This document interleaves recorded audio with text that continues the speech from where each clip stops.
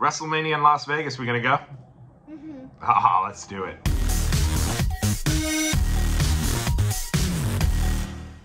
What is going on out there, world? It's your boy Tommy on the spot for Watchalong Wrestling. And you know, we are almost exactly one month to the day for WrestleMania 40, and we have finally gotten our confirmation, the long awaited announcement, the breaking news, if you will, that WrestleMania 41 is coming to Las Vegas, Nevada, and will be held at Allegiant Stadium over two days, April 19th and April 20th. So, a lot to unpack here. Uh, let's talk about it right from the start. The decision for WWE to bring WrestleMania to Las Vegas. Now, obviously, I don't know all the ins and outs, but what I will say is it was pretty much a foregone conclusion. I'd say a deep rumor that WrestleMania was going to be coming to Minneapolis, Minnesota. Uh, it felt like that was where things were going to be. I know a lot of people in Minnesota who were expecting it. I think even the, uh, the the politicians in Minnesota were already starting to have those preliminary types of conversations. Uh, and obviously that fell through. And I feel really bad for the folks in Minnesota. I think they, you know, a lot of folks. Uh, you, you think about like the WrestleMania that was the one off in Atlanta.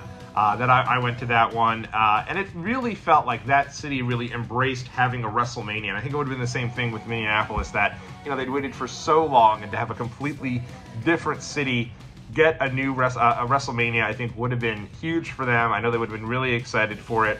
Uh, and obviously, uh, WWE decided at some point to switch course, or maybe it was never, I doubt it was finalized, or I don't think they would have switched course.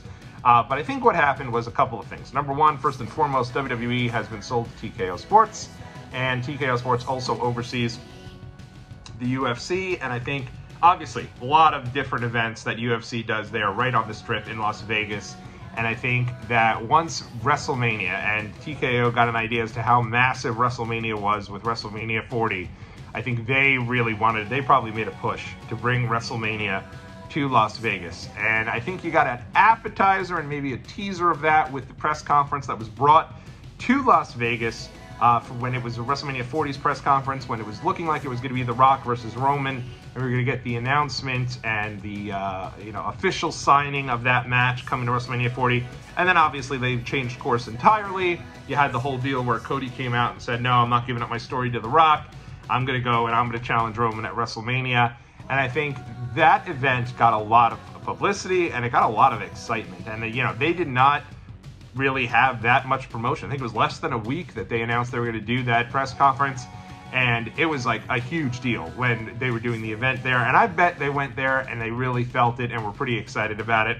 And I'm pretty sure, too, hey, Rock being a part of things, I'm sure helps. Rock probably wants Las Vegas. He wants his name in the lights. He wants that big moment uh, that comes with being The Rock. And, you know, it's unfortunate when it comes to Minneapolis. You know, I think uh, when my wife and I were talking about it, WWE's kind of gotten into this churn of the same similar types of cities, right? You've got your cities in Florida, your cities in Texas, your cities in California. Well, we love all three of those states. Uh, and we certainly do, especially living here in New York City. Any chance you get to get away to a warm weather city makes a lot of sense, and it's a lot of fun. That being said, Minneapolis, I just think would have just been awesome. It would have been something completely different, and it would have been a lot of fun. That said, they haven't been to Vegas for WrestleMania since 1993. They had done SummerSlam in 2021, and I was there for that, and I'll get into that in a second, talk a little bit about my experience.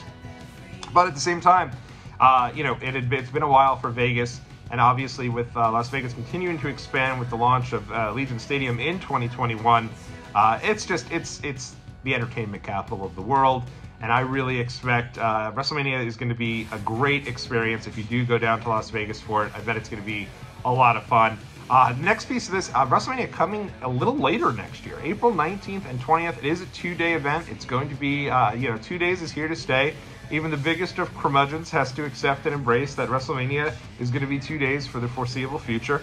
And in all honesty, even though uh, for a while I disliked the two day event, and at the same time I don't love it from a live event experience, even to this day, based on the fact that you have to go and pay for two days of parking, two days of uh, tickets, all of that. Uh, but with that being said, uh, it is what it is, and I think it does make for a really fun weekend for all wrestling fans, and it makes sense at this stage to do WrestleMania over two different days. So at the end of the day, I'm not uh, too surprised here that they're continuing with that, but WrestleMania going a little later in the month I also don't think is that surprising. Nick Khan uh, recently, after this year's WrestleMania, had come out and really said, uh, and we talked about it here on the channel, that WrestleMania wasn't going to go head to head with the Final Four anymore. And it makes a certain degree of sense.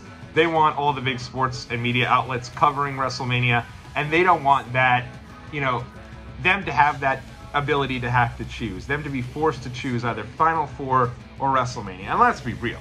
If they have that opportunity, and they have that choice to be made, they're probably going to choose the Final Four.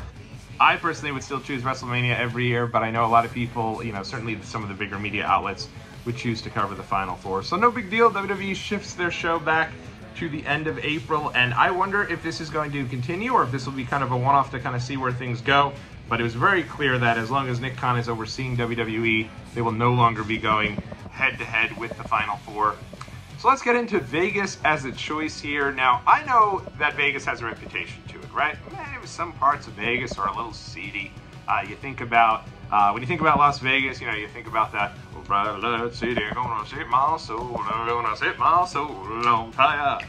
And at the end of the day, uh, that is true if you want it to be. Uh, if you go to Las Vegas, you can certainly go to pool parties all day. You can go to the clubs all night long. And when you exit the club at 3 o'clock in the morning, it's to feel like 3 o'clock in the afternoon. Nothing will be different about Vegas. You've got the bright lights, you've got the expensive shows, you can gamble your rear end off if that's what you want to do. But there's also a lot more to it. You know, I've been to Vegas. I'm not a huge gambler. I'm not a huge clubber. I go to the clubs from time to time. My wife's certainly a little more fond of those than I am, uh, so I'll go to support her. But with that being said, I've been to Vegas twice, and it is a, an experience that is really can be catered to your experience. You can do anything at Vegas. There are tons of museums. There are unbelievable uh, fireworks shows and, uh, uh, you know, amusement park rides. The strip is just incredible. In and out of every single place. Feels like you're literally traveling the world and really you're just traveling about a two block radius there, or a few block radius over in Las Vegas. So I think this is going to be great. I really do. You know, I was at SummerSlam 2021 at Allegiant Stadium for Roman Reigns versus John Cena. And even though this was coming right out of the pandemic, and so it wasn't a full capacity event by any means, and you know, it was a little, little touch and go and a little weary there because it was only about a month after WWE started bringing fans back. Because it was such a big match, the traveling wrestling crowd did make its way to Vegas, and uh, at the same time, it was it was it was great. It was a convergence of just a ton of wrestling fans everywhere you looked. You had a podcast, you had WWE merch giveaways. You had a huge superstore. And if they bring WWE The World to Las Vegas and they put it like in that sphere, could you imagine? Ah, it's just going to be incredible. Uh, I just, I can't wait for it. It's going to be, you know, all the wrestling fans converging at one place. And it's going to be, I'm sure WrestleCon will be huge. There'll be tons of different shows throughout the week. And, you know, I think it's, a, it's going to be a really great experience. Don't sleep on this one. Definitely get your travel booked as soon as you can because prices will soar up and uh, also, you know, one of the cool pieces about this is that Allegiant Stadium is right in walking distance to the Strip. First night, you know, when we went down there, we took a little cab over there. We're in the cab for about five minutes, and I'm like, wait a second, what are we doing? Uh, you know, you could walk right over from the Strip over to Allegiant Stadium. A little bit of a walk, but you'll have tons of wrestling fans with you. It'll be part of the experience. Getting a little excited. I did this one. I will do everything I can to be at. I know I, I was I was at WWE World for WrestleMania 40. Did not actually go to the big show. Obviously, have a little regret around that. But WrestleMania 41 Las Vegas is going to take a lot to keep me out of that one. So uh, I will do whatever it takes to be there, and I'm sure it's going to be a really fun ride. Uh, if you haven't done it yet, if you haven't seen it, WWE was live at the Kentucky Derby's pre-show. Uh, that's where they made this announcement. Uh, they had Seth Rollins and Becky Lynch on set on site. Uh, they both looked great. They were derbied up, so to speak. Uh, there's a big there's a big picture of Seth Rollins where he looks bald. I don't think he's bald. I think he just kind of shaved the sideburns and has a little man button up in his hat. Uh, but it was uh, they were on set on site and they ended up unveiling this video for WrestleMania 41. If you watch it, Triple H looks pretty badass in it, and it really can get you hyped for the next year's WrestleMania. So, again, I'm sorry to the folks that are in the Midwest there for in Minneapolis, Minnesota. That is very sad for you, and I do hope at some point you get a big show. But SummerSlam's coming right to Cleveland, not too far from Minnesota. You had SummerSlam last year in Detroit, not too far from Minnesota. So hopefully Minnesota will get something here real soon. There'll be, there'll be a make good. I'm almost guaranteeing there will be a make good from WWE. Uh, but instead, it's going to be Las Vegas, Nevada, April 19th and 20th for WrestleMania 41. Let me know what you're thinking about this. Are you excited? Are you making your way to WrestleMania? Let me know, and uh, there'll be a lot more to come right here on Watchalong Wrestling.